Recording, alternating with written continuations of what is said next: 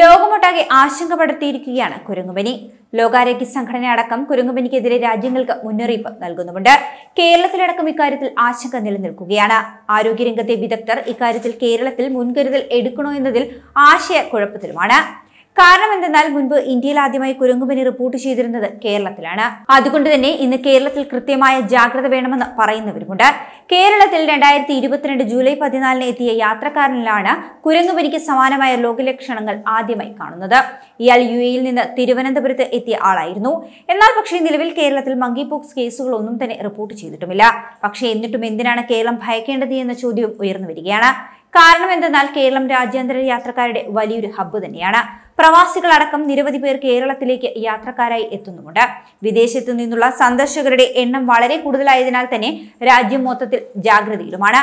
കേരളത്തിൽ മുൻപ് രോഗം സ്ഥിരീകരിച്ചതിനാൽ ജാഗ്രത കൂടുതലായും പാലിക്കേണ്ടതായി വരും. ലോകാരോഗ്യ സംഘടന പുറത്തുവിടുന്ന കണക്കുകൾ പ്രകാരം ഇന്ത്യയിൽ ഇതുവരെ ഇരുപത്തിയേഴ് കുരങ്ങുപനി കേസുകൾ റിപ്പോർട്ട് ചെയ്തിട്ടുണ്ട്. പ്രധാനമായും ആഫ്രിക്കൻ രാജ്യങ്ങളിലാണ് ഈ രോഗം ഇപ്പോൾ വ്യാപിക്കുന്നത്. കോങ്കോ റിപ്പബ്ലിക്കിലും അതിനടുത്തായിട്ടുള്ള മറ്റ് ആഫ്രിക്കൻ രാജ്യങ്ങളിലുമാണ് രോഗികളുടെ എണ്ണം നാനൂറിലേറെ കടന്നിരിക്കുന്നത്. ഇത് പടരുന്ന ഒരു രോഗമായതിനാൽ തന്നെ രാജ്യാന്തര ജാഗ്രത വേണ്ടിവരുന്ന പൊതുജനാരോഗ്യ അടിയന്തരാവസ്ഥയായിട്ടാണ് ഇതിനെ വിശേഷിപ്പിക്കുന്നത്.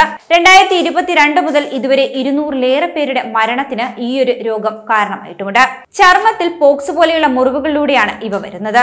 ഇത്തവണ പക്ഷേ ലൈംഗിക ബന്ധത്തിലൂടെയാണ് രോഗം പടർന്നിരിക്കുന്നത്. ആയിരത്തി തൊള്ളായിരത്തി അൻപത്തി എട്ടിൽ കുരങ്ങുകളെ ഗവേഷണത്തിനായി സൂക്ഷിച്ചിരുന്ന കോളനികളിൽ പോക്സ് പോലെയുള്ള രണ്ട് രോഗം പൊട്ടിപ്പുറപ്പെട്ടതോടെയാണ് കുരങ്ങുപനി പുറത്തേക്ക് പലയിടത്തും പടർന്നു പിടിക്കുവാൻ തുടങ്ങിയത്. ഹീമോഫൈസാലിസ് വർഗത്തിൽപ്പെട്ട ചെള്ളുകളാണ് ഈ രോഗം പരത്തുന്നത്. കുരങ്ങുകൾ ചെറിയ സസ്തനികൾ ചിലയിനം പക്ഷികൾ എന്നിവയിലാണ് ഈ രോഗത്തിന് കാരണമാകുന്ന വൈറസ് അധികമായും കാണപ്പെടുന്നത്. ഇവയുടെ രക്തം കുടിക്കുന്ന ചെള്ളുകളുടെ കടിയേൽക്കുന്നതിലൂടെ രോഗാണു മനുഷ്യരിലേക്കും എത്തുന്നു.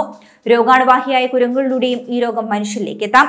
കൈകൾക്കും കാലിനും പോലെ പൊന്തി വരുന്നതാണ് രോഗലക്ഷണങ്ങൾ രോഗം ബാധിച്ചയാൾ ചുമയ്ക്കുമ്പോഴോ മൂക്കു ചീറ്റുമ്പോഴോ ആണ് ഈ വൈറസ് വായുവിലൂടെ മറ്റുള്ളവരിലേക്ക് പകരുന്നത്. കടുത്ത പനി തലവേദന പുറം വേദന പീശുകളിൽ വേദന തുടങ്ങിയവയാണ് രോഗലക്ഷണങ്ങൾ ദേഹമാസകലം തിണർപ്പുകൾ ഉണ്ടാവുകയും ചെയ്യും. പിന്നീട് ഇവ ദ്രാവകം നിറഞ്ഞ ചെറിയ കുമിളകളായി പരിണമിക്കും. പനി തലവേദന പേശീവേദന ഛർദി രക്തസ്രാവം എന്നീ പ്രവണതകൾ കുരങ്ങുപനിയുടെ ലക്ഷണങ്ങളിൽ ഉൾപ്പെടുന്നു.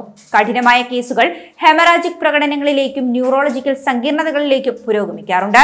സുരക്ഷിതമായിരിക്കുവാൻ രോഗം പടരുന്ന വനപ്രദേശങ്ങൾ സന്ദർശിക്കുമ്പോൾ മുൻകരുതലുകൾ എടുക്കുക.